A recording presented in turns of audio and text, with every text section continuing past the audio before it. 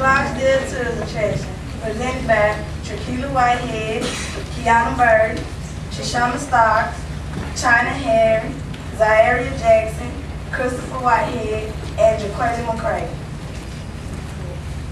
Important map elements. The title of the map shows the usual what the map is about, while authorship gives recognition to the creator. The legend is the key. Is- A legend is the key to the symbol or color to what is used on the map. A scale indicator shows the relationship between the distance on the map and in real life. A north arrow shows which way the map is to be faced. Why did we make this map? We visited the Clarksdale Tourism Commission to see their map and to get a better understanding of map making. Their small map is good for carrying around, while we wanted to create a poster-sized map. We made this map so that our visitors, tourists, and blues fans could have a better view of downtown Clarksdale.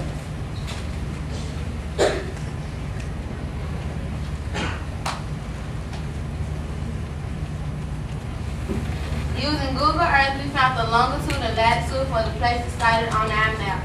Were imported to ArcMap and combined with Flood today, while map design was used to distinguish the differences between the plots.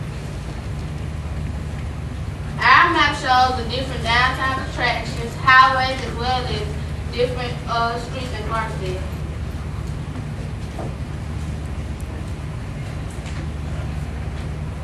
This map shows the attractions we plotted. Color coordination was used to enable the user to have a better understanding of the map.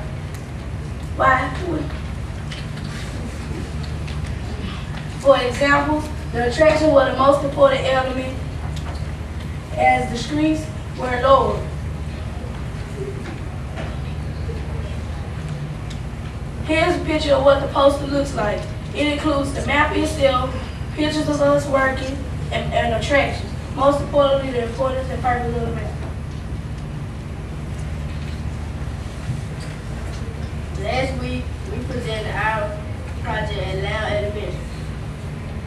We talked about the maps, the websites, and the project. We had visitors including Ms. Ms. Kathy Allen, our commercial mentor from the Clarksdale, Coahoma County Tourism Commission. We got great feedback on our project. Ms. Adams said our map was better than the tourism commission map, and she liked our colors. We are creative students. These are pictures from our meeting.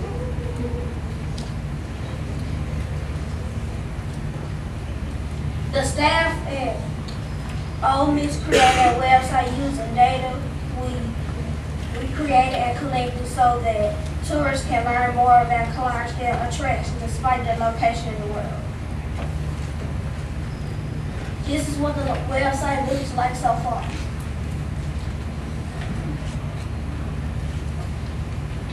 These pictures show us working and plotting points using Google Earth and ArcMap.